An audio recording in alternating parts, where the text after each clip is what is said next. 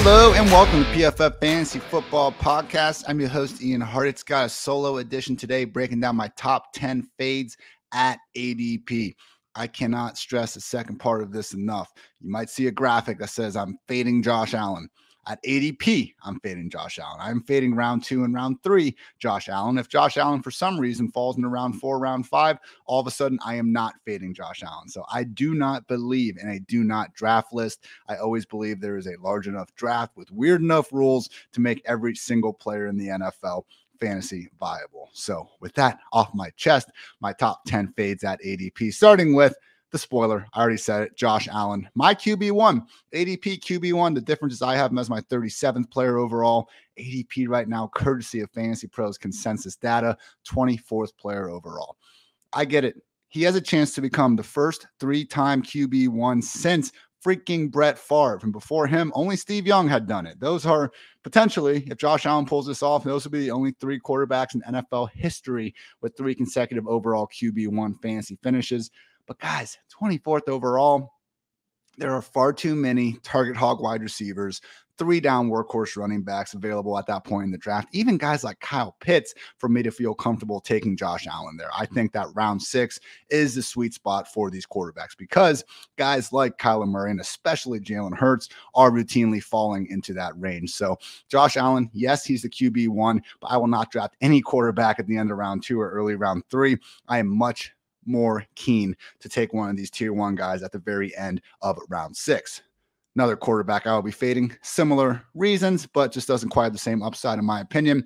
Cincinnati Bengals quarterback Joe Burrow, my QB9, QB5 ADP. Right now, guys, he is going off the board as the 58th overall player. And Joe Burrow, hey, if they throw the hell out of the ball, maybe he does flirt with one of those 5,000 5,000 yards, 50 touchdown sort of seasons, but he's going to need to because when he doesn't have any sort of rushing upside attached to him at this point, it's just so tough for Burrow to compete with guys like Hurts, like Kyler, even the Mahomes and Herberts of the world. You're just playing a different game with guys like Burrow, Tom Brady, the pocket passers that don't have the same sort of just best case scenario upside. So for me, it's Joe Burrow at pick 58, or I can wait literally 50 picks later and get arbitrage versions like Kirk Cousins, like Derek Carr, even Tom Brady 30 picks later. I cannot get behind Joe Burrow going ahead of someone like Jalen Hurts. Take the cheaper discount versions rounds later. Round five is still an area where you can be getting some really quality wide receivers. I'd hate to burn that pick on a quarterback like Burrow. That again, I think you can just get a discount version of him far later on. Moving on to running back. Cleveland Browns running back Nick Chubb, not someone I've come away with a lot because, guys, he's a 16th player overall. And I actually got to go on uh, my sports update, Ari PFF's Finest, his podcast today, and talking to Ari. Kareem Hunt is not expected to be traded, at least in terms of Ari's, you know, inside sources going on. So, with that in mind, Nick Chubb is once again not one, but two injuries away from having a featured role. I don't know why. If you want to call Nick Chubb the single best running back alive, I'm, I do not think too many people, including myself, are going to be disagreeing with you. With that said, guys, Nick Chubb, 17.5 combined carries and targets per game with Kareem Hunt last year, 17.6 without even if Kareem Hunt gets hurt, he's healthy right now, by the way. Even if he gets traded for some reason, even though, again, per sources, he's not expected to be, D'Ernest Johnson is going to step up into that pass down role. For some reason, they will not feature Nick Chubb on passing downs. I know he's not Hunt. I know he's not Austin Ekeler, but man, can we just get one of the best players in the league the ball in space a little bit more often? I don't get it, but Nick Chubb, he needs to be one of the best running backs, if not the best running back in the league, to make up for a workload that is typically reserved for a far lesser player. In 2021, just the RB 21 expected PPR points per game, he was 27th in 2020. Now he's a beast. He returned RB 7 and RB 11 performances with that. But guys, with Jacoby Brissett under center, there's never been a time for defenses to key more on Nick Chubb. I don't like betting on players in the second round to only win because of talent. Because it's not like we're taking Nick Chubb versus a bunch of players that aren't talented. It's like Nick Chubb with a mediocre workload or Alvin freaking Kamara or freaking Aaron Jones with a more fantasy friendly workload. I will be taking those other running backs.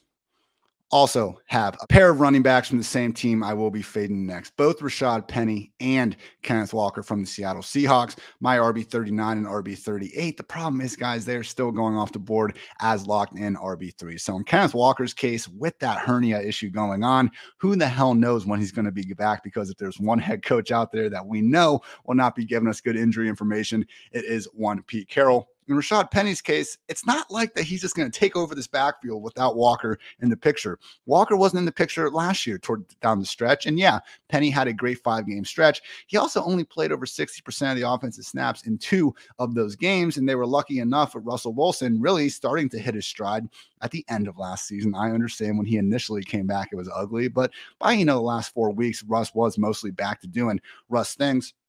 I don't want to have to gamble on Penny in an offense that could easily be the worst in the entire league behind an offensive line that, yeah, maybe maybe the rookies step up, but I'm not exactly expecting it to be good. When PFF ranks it dead last going to the year, I think that's a fair thing to say. And oh yeah, he's not going to catch passes because Travis Homer and DeeJay Dallas are going to continue to take away the fantasy friendly reception. So for me, the best case scenario for either of these backs, Penny or Walker, is going to be take down the early downs to be really, really, really freaking good. And then, yeah, that's that's it. Like, because they're not going to catch passes and they're not going to be in an offense where they're going to be flirting with super high end touchdown upside. So I will say, with the way quarterback movement is, hey, maybe Seattle next year they are back to being a contender. They find a way to go get someone Kenneth Walker, if you're in a keeper league, I think is viable. Historically, we have seen day two running backs, their value spikes in their second season. We saw that with Javonte Williams from last year to this year. Not not 100% hit rate. Obviously, guys like Trey Sermon have proven that. But generally, I think it was over the last five years, the running backs on day two, they see their positional rank go up nine spots from year one to year two. So for me, I don't want Walker or Penny. If they both start to slide, though, give me Walker just for the possibility of getting that nice keeper value. Next fade for me is going to be one more running back. David Montgomery from the Chicago Bears, my RB 20 ADP, RB 18. It's just this range. Montgomery, and honestly, I'll talk about just the rest of these guys here. Is Montgomery, Antonio Gibson, and Josh Jacobs. These fades, I came up with, I would like to say for the record, uh, before this last week of the preseason, where we saw Gibson actually work behind Brian Robinson. So I understand that Gibson not really going in the RB dead zone too much anymore. But really, guys, from the end of round four to about round six or round seven, I don't want anything to do with these running backs. I don't think you need to concern yourself with chasing some of these running backs here just because you only got one or two or maybe zero in the early rounds. There are guys like Kareem Hunt, Cordarrelle Patterson, and Chase Edmonds regularly going in round seven or eight that I think you can argue straight up have better potential workloads on their plate than Gibson, Jacobs, and even Dave Montgomery. In Montgomery's case, terrible offense. We're expecting Khalil Herbert to eat into the work a bit. Maybe Montgomery does keep the pass down work, but it's just one of these situations where oh, he's going to have to be pretty damn good because I don't think he's going to get much help from anyone in his offense. And there is a possibility from the beat reporters uh, coming out of training camp that we actually do see Khalil Herbert make this far more of a committee than folks are expecting. In Gibson's case, obviously already being behind Brian Robinson, pretty freaking freaking far from ideal. Do not be afraid to just let this man slide deep down the board. And then Josh Jacobs, I am treating Las Vegas as basically New England Southwest at this point, expecting three running backs to consistently be involved in Jacobs, Zamir White, and Ameer Abdullah. So for me, these guys, mostly on reputation, are continuing to be pushed up into what is essentially the RB dead zone. So no, I don't want these guys Make a strength a super strength in this spot, guys. Don't be afraid to take four or five wide receivers inside the first six rounds because we have these outs in the form of Kareem Hunt, Cordarrelle Patterson, and Chase Edmonds going in round seven or eight, when I think those guys arguably are better options than these middle RB dead zone talents. At wide receiver, I will be fading Deebo Samuel. The only wide receiver I actually have on here because I do think there are a hell of a lot of good options really in the first, you know, six, seven rounds and arguably even after that. But in Deebo's case, again, it's just about where he's going. 18th player overall off the board in the middle of the second round, wide receiver six. He is my wide receiver 10, someone that I will draft in the third round, eight days of the week. Just can't get behind him in round two ahead of some of these just workhorse running backs. And the big thing with Deebo, and if you've listened to this podcast, I brought this stat up a couple times, but it can't hurt one more. In weeks one through nine, when he was that featured wide receiver, 21.2 PPR points per game. Weeks 10 through the NFC Championship, when he's playing more running back, 20 PPR points per game. Who cares? Difference of one point, right? Wrong. The expected points cratered 17.1 expected PPR points per game down to 12.7 expected PPR points per game. Think about a running back. Do we care about carries for a running back? Yes, but we'd prefer to have targets. All else equal, we want targets over carries. Now, when someone like Deebo, if we could have Deebo get 100 targets or 100 targets and 20 carries, obviously we'll take the extra carries. We do not want the carries to replace the targets. Historically, one target has been worth about 2.7 carries in terms of expected fantasy points. So when Deebo is out there getting the running back touches, the reason why he was able to keep on keeping on was because he was literally the most efficient running back in the entire NFL in terms of yards per carry, breaking tackles, all that stuff just like Nick Chubb. I don't want to have to rely on Deebo Samuel being one of the best players in the freaking league in order to meet value because we're not drafting him around scrubs. We're drafting him around a lot of fellow guys with much larger workloads. So Deebo Samuel, someone that PFF projects to finish just 25th among wide receivers in total targets this season. I am much happier to again get guys like Saquon Barkley, Leonard Fournette, Aaron Jones, Alvin Kamara. The running backs available in round two are just far superior to taking a chance on someone like Deebo when I think the wide receivers you're getting in round three, four, even five, you could argue are going to be set up for potentially more targets than Deebo Samuel. If there's ever an offense in the NFL, as great as Deebo is, that doesn't even need to necessarily feature him a ton, it's probably the offense featuring George Kittle, Trey Lance, Brandon Aiyuk. They have other avenues to go with the ball. I'm not saying Deebo is going to freaking completely bust and not get his, but we do need to keep in mind, everyone, we want the targets. We do not want those rush attempts to come in place of the targets. That's bad for the fantasy business. Cowboys tight end Dalton Schultz. He's my tight end six. He's gone off the board as a tight end six. The difference is he's my 86 player overall. ADP 57th player overall. For the life of me, I cannot figure out how Dalton Schultz is going closer to George Kittle than he is freaking Dallas Goedert. So, with where Schultz is going in round five, in round six, I think a similar sentiment can be said about TJ Hockenson, where at that point in the draft, guys, we still have top 30 wide receivers and we have the Kyler Murrays and the Jalen Hurtses of the world. No, I don't really want running back, but I don't want tight ends at this point in the draft either when we can get Dallas Goedert, freaking Dawson Knox and Zach Ertz rounds later than these guys. So I would like to make my initial tight end one, one of those three guys at a minimum that I just mentioned uh, between Goedert, Knox, and Zach Ertz. Dalton Schultz is someone that I just don't see enough upside with to be taken significantly ahead of those other guys. Again, tight end six, I get it. Not having Michael Gallup ready to go, only having CeeDee Lamb out there. There's a chance that Schultz is going to be flirting with triple digit targets, but I'm just not convinced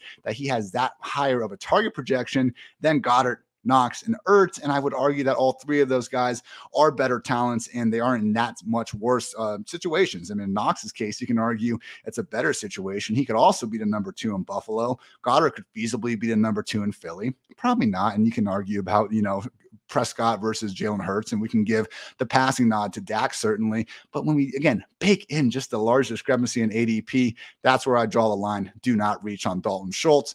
And that is going to wrap up my top 10 fades at ADP ahead of 2022. Just to quickly repeat those guys. Buffalo Bills quarterback Josh Allen. I am looking to get Kyler Murray, Jalen Hurts in round six instead. Cincinnati Bengals quarterback Joe Burrow. Don't take him in round five. Look for Matthew Stafford, Derek Carr. 50 picks later, potentially, along with Kirk Cousins instead. Cleveland Browns running back Nick Chubb, 16th player overall. I will be taking guys like Alvin Kamara and Aaron Jones ahead of him. Seattle Seahawks running backs Rashad Penny and Kenneth Walker. Hey, don't hate the player, hate the ADP. If these guys fall, you know, far enough, okay, fine, I'll take them. Particularly Penny was seemingly having a better chance as the Walker injury situation goes. But even as top 90 guys, you know, round seven, round eight, I am still looking elsewhere more times than not. At wide receiver, Deebo Samuel in the middle round two, not someone I'm too keen on. And finally, tight end, Dalton Schultz at tight end six. Cannot get behind that with Goedert. Knox and Zach Ertz available rounds later. So if you guys enjoyed this, I invite you guys to check out PFF Plus. It's got our entire fantasy football draft guide, updated ranks continuously from myself, Dwain McFarland, Nathan Jahnke, Kevin Cole, the entire PFF fantasy uh, just team. Yeah, great stuff from us. And we also have our draft now feature where we do our best to basically be by your side throughout your draft. No, can't ex- exactly go in there. I'm a busy guy. I got a lot of drafts myself. I can't draft for you, but we come up with a tool that is the next best thing. So check out that, check that out. PFF Plus. You can get a free week trial. Thanks again for tuning in. PFF Fantasy Football Podcast. I'm Ian Hartitz. Until next time, take care, everybody.